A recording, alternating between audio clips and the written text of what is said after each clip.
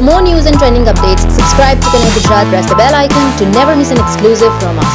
નમસ્કાર દર્શક મિત્રો કનક ગુજરાતમાં આપ સૌનું સ્વાગત છે. હું છું આપની સાથે મુશ્તાક વિગતવાર સમાચાર પહેલા નજર કરી આજના મુખ્ય સમાચાર પર. વાપી જીઆઈડીસીની જય કેમિકલમાં બ્લાસ્ટ થતા બે વ્યક્તિના મોત અને પાંચ કામદારો ઘાયલ. ઈજાગ્રસ્તોને સારવાર માટે હોસ્પિટલ ખસેડાયા. ગોધરા કાંડના આરોપી યાકુબ પાતળિયાને કોર્ટે સજા ફટકારી. એસઆઈટી કોર્ટે આજીવન કેદની સજા સંભળાવી. સદીઓથી ચાલી આવતી કચ્છની પરંપરા મુજબ ભુજના આશાપુરા મંદિરે હોળી પ્રગટાવવામાં આવી. ત્યારબાદ શહેરમાં હોલિકા દહનનો થયો પ્રારંભ. જુનાગઢમાં યુવતીને બગાડી જવાના ચાલતા મંદુખ બાબતે ઘાતક હુમલો પીએસઆઈ સહિત છ જણ ઈજાગ્રસ્ત. ભરૂચના જંગાર ગામના ગૌચરની માટી ખોદકામ પ્રકરણમાં ખાણ ખનિજ વિભાગ દ્વારા હાથ ધરાઈ તપાસ. તો હવે સમાચાર વિસ્તારથી. સુરતના લસકાણા ડાયમંડ નગર ખાતેથી સરથાણા પોલીસે ડુપ્લિકેટ વિમલનું કારખાનું ઝડપી પાડ્યું. સુરત સરથાણા પોલીસે લસકાણા ડાયમંડ નગર ખાતેથી ડુપ્લિકેટ વિમલ પાન મસાલાનું કારખાનું ઝડપી પાડ્યું છે. પોલીસે પાન મસાલા બનાવવાને લગતા મશીનરી તેમજ મટીરિયલ કિંમત રૂપિયા બે લાખ ત્રાણું હજાર સાથે ત્રણને ઝડપી પાડ્યા છે. સરથાણા પોલીસને બાતમી મળી હતી કે લસકાણા ડાયમંડ નગર અમૃત ઉદ્યોગનગર ખાતા નંબર એકસો અઠ્ઠાવનના ત્રીજે માળે ભરતભાઈના કારખાનામાં વિમલ કંપનીના ડુપ્લિકેટ પાન મસાલા બનાવવાની ગેરકાયદેસર પ્રવૃત્તિ ચાલી રહી છે અને તેના દ્વારા કેટલાક લોકો વિમલ કંપનીને નુકસાન પહોંચાડી રહ્યા છે. જેથી પોલીસે ત્યાં રેડ કરી હતી આ દરમિયાન. આ દરમિયાન કારખાનામાં વિમલના ડુપ્લિકેટ પાન મસાલા બનતા હોવાની મશીનરી તેમજ મટીરિયલ સહિતનો સામાન મળી આવ્યો હતો. આ કુલ કિંમત રૂપિયા બે લાખ ત્રાણું હજાર સાતસોના મુદ્દામાલ સાથે પોલીસે આરોપી ધર્મેશભાઈ, નરેશભાઈ ખૂંટ તેમજ અમિતભાઈ, હિંમતભાઈ ઝાલાવાડિયા, પિયુષકુમાર દેવચંદભાઈ કોંડલિયા આમ ત્રણ જણાની ધરપકડ કરી વધુ કાર્યવાહી હાથ ધરી છે. આ તરફ જૂનાગઢમાં યુવતીને ભગાડી જવાના ચાલતા મંદુક બાબતે યુવકના પરિવારજનો અને પોલીસ પર ઘાતક હુમલો થતાં ચકચાર મચી ગઈ છે. હુમલામાં ઘાયલ એક પીએસઆઈ સહિત છ લોકોને સારવાર માટે દાખલ કરવામાં આવ્યા.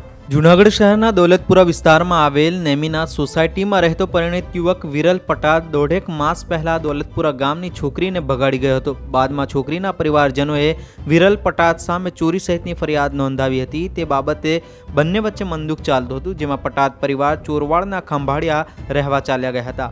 આજે તેના જૂનાગઢ સ્થિત મકાનનો માલ સામાન લેવા માટે જૂનાગઢ આવવાના હોય અને તેના પર હુમલો થાય તેવી ભીતિના કારણે લખાણ પોલીસ રક્ષણ માંગવામાં આવ્યું હતું. જેથી એક પીએસઆઈ અને ત્રણ પોલીસ કોન્સ્ટેબલો પટાદ પરિવારના રક્ષણ માટે તેના ઘરે હાજર હતા. તેવામાં અચાનક દેવાનંદના મિત્રો રમેશ ગોજિયા અને હમીર ગોજિયા સહિત બારથી પંદર શખ્સોનું ટોળું ઘાતક હથિયારો સાથે આવી પટાદ પરિવાર પર તલવાર, ભાલા, કુહાડી વડે હુમલો કર્યો હતો. યુવતીને ભગાડી જવાના મામલે ચાલતા મંદુકમાં પોલીસની હાજરીમાં હુમલાખોરોએ હુમલો કરી પીએસઆઈ સહિત છ લોકોને ઘાયલ કરી દીધા હતા. આ અંગે પોલીસ દ્વારા હત્યાની કોશિશ રાઇટિંગ સહિતનો રમેશ ગોજિયા, હમીર ગોજિયા સહિત બારથી પંદર લોકો સામે ગુનો દાખલ કરી આરોપીઓને પકડવાની તજવીજ હાથ ધરી છે. ભૂતકાળમાં દોઢેક મહિના પહેલાં દેવાનંદ કરમૂરની દીકરી રિંકલને દેવાયતભાઈનો વકમાતભાઈનો દીકરો નસાડી ગયેલ. ત્યારબાદ એને પાછી લાવેલા અને એ બાબતનું મનદુખ ચાલતું હતું અને સામાન ભરવા આવેલા તેથી બંદોબસ્તની માગણી કરેલી. હાલમાં પોલીસ હતી, એના લીધે વધુ કોઈ ઈજા થવાની ઓછી થઈ છે, ઈજા ઓછી થઈ છે.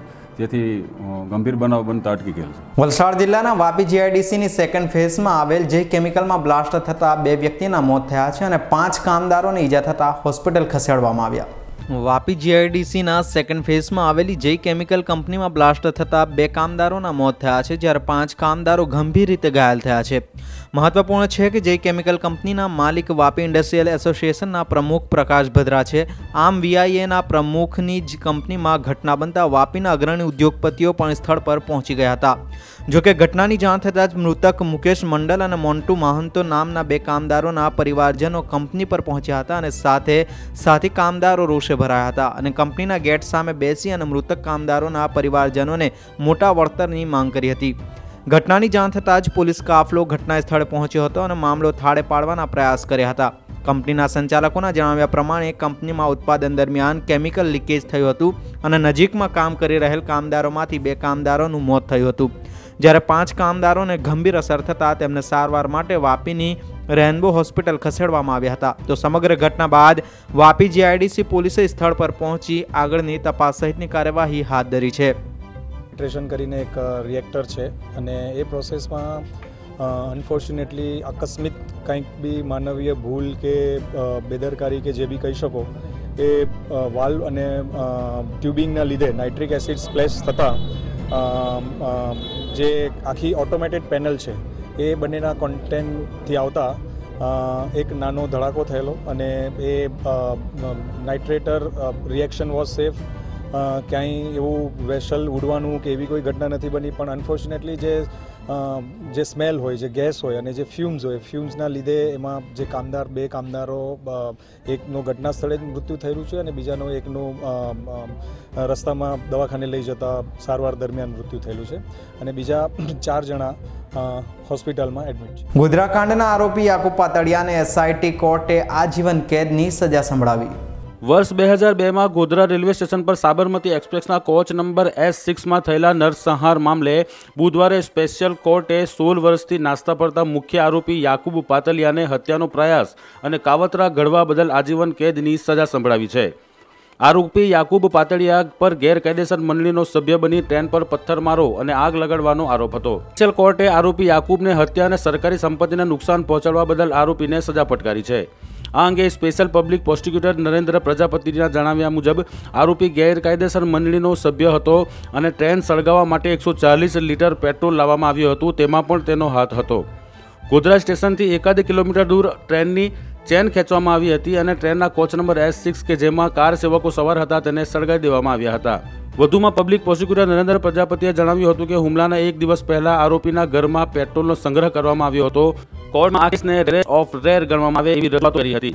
કારણ કે આ કેસમાં ઓગણસાહીઠ લોકોના મોત થયા હતા, જેમાં ઓગણત્રીસ પુરુષ, બાવીસ સ્ત્રી અને આઠ જેટલા બાળકો મોજૂદ હતા.